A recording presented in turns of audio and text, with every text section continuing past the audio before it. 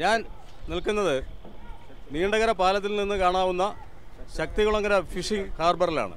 കടലിലെ മാലിന്യം പ്രത്യേകിച്ചും പ്ലാസ്റ്റിക് മാലിന്യം വലിയ ഒരു ദുരന്തം സൃഷ്ടിച്ചുകൊണ്ടിരിക്കുകയാണ് നമ്മുടെ നാട്ടിൽ.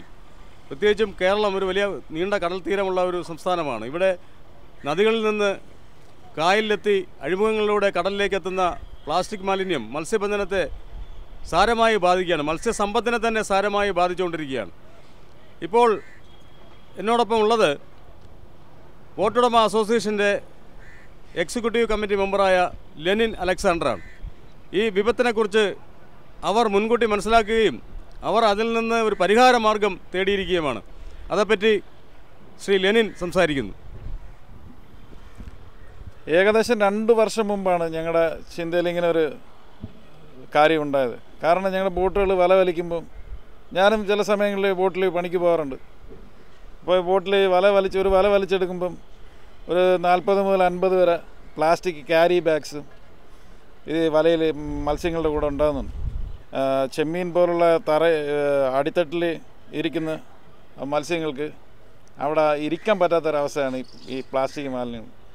അങ്ങനെ ഞങ്ങൾ കുറേ സുഹൃത്തുക്കളും മത്സ്യത്തൊഴിലാളി സുഹൃത്തുക്കളും ബോട്ടുടമകളും എല്ലാവരും കൂടെ ആലോചിച്ച് ശുചിത്വ സാഗരം എന്ന് പറഞ്ഞിട്ട് ഞങ്ങളങ്ങനെ ഒരു തീരുമാനം ഉണ്ടാക്കുകയും അത് മന്ത്രിനെ അറിയിക്കുകയും ബഹുമാനപ്പെട്ട ഫിഷറീസ് മന്ത്രി മേഴ്സിക്കുട്ടിയമ്മ അതിന് വേണ്ടുന്ന സപ്പോർട്ട് തരികയും ഞങ്ങളുടെ തന്നെ ഒരു വാർഷികത്തിൽ നാൽപ്പത്തി മൂന്നാമത്തെ ഒരു വാർഷികം നടത്തിയിരുന്നു ബോട്ട് ഓണേഴ്സ് അസോസിയേഷന്റെ ആ നാൽപ്പത്തി മൂന്നാമത് വാർഷികത്തിൽ ബഹുമാനപ്പെട്ട മന്ത്രി പങ്കെടുക്കുകയും ഇത് ഔദ്യോഗികമായിട്ട് പ്രഖ്യാപിക്കുകയും നാളിതുവരെ കടലിൽ കടലിലെ കരയിൽ നിന്ന് കൊണ്ട് കരയിൽ നിന്ന് കായൽ വഴി വഴി കടലിൽ പോകുന്നത് കൊണ്ട് പിന്നീട് മത്സ്യത്തൊഴിലാളികൾ തന്നെ അത് അവർ മീൻപിടി മീൻപിടുത്തത്തിന് വേണ്ടി അശാസ്ത്രീയമായ കുറേ മീൻപിടുത്തം കടലിൽ നടക്കുന്നുണ്ട്.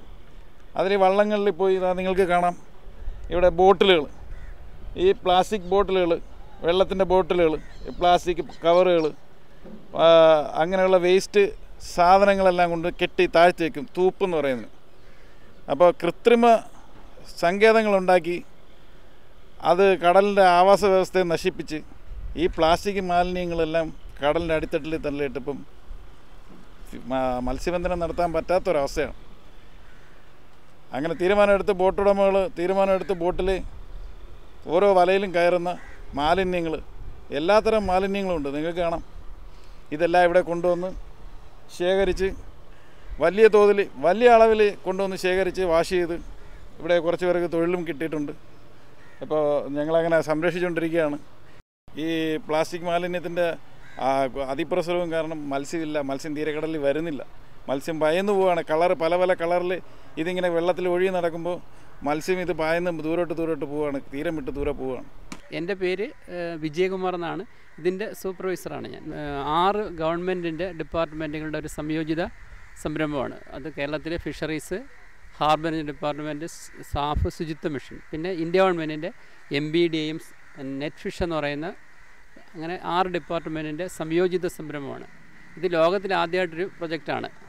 അതിന്റെ ഉദ്ദേശം എന്ന് പറയാൻ കടലിലെ പ്ലാസ്റ്റിക്കിന്റെ ആ ten point five lakhs ten കിടപ്പുണ്ടെന്നാണ് പറയുന്നത് നമ്മുടെ ഈ പ്രദേശത്ത് മാത്രം. അപ്പം ഈ കടലിൽ മീൻ പിടിക്കാൻ പോകുന്ന ബോട്ടുകൾക്ക് വലയിട്ടാൽ അവർക്ക് കിട്ടുന്നത് കുറച്ച് മീനും ബാക്കി മൊത്തം പ്ലാസ്റ്റിക്കുമായിരിക്കും. പിന്നെ കടലിലെ മത്സ്യങ്ങളെല്ലാം ഇതാണ് കഴിക്കുന്നത്. ചെറിയ മത്സ്യങ്ങളിപ്പം ഒരു മാസം ജീവിച്ചിരിക്കുന്ന മത്സ്യമെല്ലാം ഈ പ്ലാസ്റ്റിക് കഴിച്ചാൽ അത് പെട്ടെന്ന് അതങ്ങ് മരിച്ചു പോകും. അപ്പോൾ നമ്മുടെ ഈ ആഹാരത്തിന് തന്നെ അത് പ്രശ്നം സൃഷ്ടിക്കുന്നുണ്ട്. പിന്നെ മറ്റൊരു കാര്യം എന്ന് പറയുന്നത് കുറച്ച് നാൾ കഴിയുമ്പം ഈ പ്ലാസ്റ്റിക് കൊണ്ട് നിറയും നമ്മുടെ കടലെന്ന് പറയുന്നത്. അപ്പോൾ അഷ്ടമുടിക്കാരന്റെ ഏത് ഭാഗത്ത് പ്ലാസ്റ്റിക് ഇട്ടാലും അത് അവസാനം എവിടെ വരത്തുള്ളൂ? ഇവിടെ വരത്തുള്ളൂ. അപ്പോൾ അതിനൊരു പരിഹാരമായിട്ടാണ് രണ്ടായിരത്തി പതിനേഴിൽ നമ്മുടെ ഗവൺമെന്റ് ഇത് ആസൂത്രണം ചെയ്തത്. ഇത് ചെയ്യുന്നതെന്ന് പറയുന്നത് എം ബി ഡി എക്കാർ കേന്ദ്ര ഗവൺമെന്റ് സ്ഥാപനം അവർ നമുക്ക് ഈ വേസ്റ്റ് എടുക്കുന്നതിന് വേണ്ടി ഉള്ളിൽ കിടന്ന് നെറ്റ് ഉണ്ടോ ആ നെറ്റ് അവർ തരും. അപ്പോൾ ഇവിടുന്ന് ബോട്ട് പോകുന്ന സമയത്ത് വൈകുന്നേരത്ത് പോകുന്ന സമയത്ത് അവർക്ക് ഈ നെറ്റ് കൊടുത്തു വിടും. അപ്പം ഇതും കൊണ്ട് ബോട്ടുകൾ പോയി കഴിഞ്ഞാൽ അവർ വലയിട്ടതിന് ശേഷം ആ വലയെ കിട്ടുന്ന മീൻ എടുത്തിട്ട് ബാക്കി വരുന്ന എല്ലാ വേസ്റ്റും നെറ്റിനകത്താക്കും. ചിലപ്പോൾ ഒന്നോ രണ്ടോ നെറ്റ് അവർക്ക് വേണ്ടി വരും. പിറ്റേന്നോ എപ്പോഴാണ് അവർ കരയെ വരുന്നത് വെച്ചാൽ ആ സമയത്ത് ഈ നെറ്റ് നമ്മൾ വാർപ്പിൽ അവർ കൊണ്ടിടും. ഇവിടെ ഒരു പതിനഞ്ച് തൊഴിലാളികളുണ്ട്. അവർ ദാണ്ട് ഈ ട്രോളിയായിട്ട് പോയിട്ട് ആ ചാക്കിട്ട് എടുത്തുകൊണ്ട് വന്നിട്ട് ഇവിടെ കൊണ്ടുവന്നിട്ട് അവർ തരംതിരിക്കും. അതിനകത്ത് പ്ലാസ്റ്റിക് മൈക്രോൺ കുറഞ്ഞ നല്ല പിടിക്കാൻ പറ്റുന്ന പ്ലാസ്റ്റിക് വേറെ വല വേറെ റോപ്പ് വേറെ മറ്റ് പ്ലാസ്റ്റിക് ഐറ്റംസ് വേറെ ഇങ്ങനെ മാറ്റി മാറ്റിയിടും. എന്നിട്ട് ഈ പ്ലാസ്റ്റിക് ഭംഗിയായിട്ട് കഴുകി ആ ടാങ്ക് കൊണ്ട് അതിന് ചില കെമിക്കൽസ് അല്ലെങ്കിൽ നമുക്ക് ഡിറ്റർജന്റ് കൊടുത്തിട്ടുണ്ട്. അതുകൊണ്ട് കഴുകി ഇവിടെ കൊണ്ടിട്ട് ഉണക്കിയതിന് ശേഷം ഈ ഉണക്കിയ പ്ലാസ്റ്റിക് നേരെ അപ്പുറത്ത് പൊടിക്കുന്ന യൂണിറ്റിൽ പോകും. അവിടെ ഉണ്ട് ഒരു പത്ത് പേര്.